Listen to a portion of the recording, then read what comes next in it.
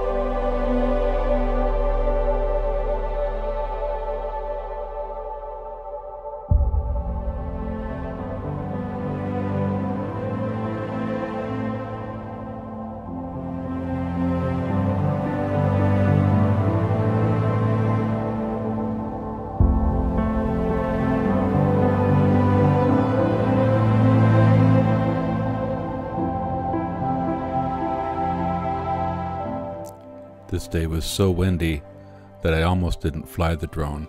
And uh, I shortened my flight because it was really, really windy. You can't tell that by the looking at the video, but uh, the drone did good anyway. So it was a good test.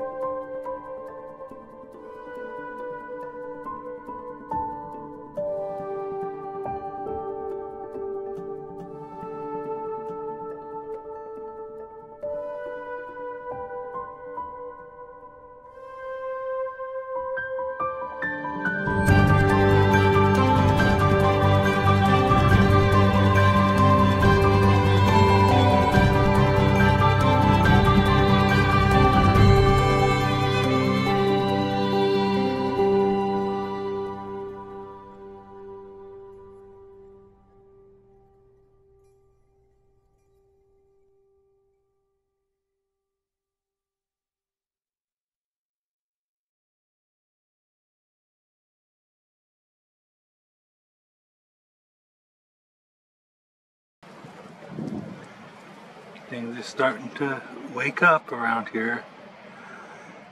It's January 10th. No, maybe it's the 11th. But those little suckers bite pretty good. I think they do.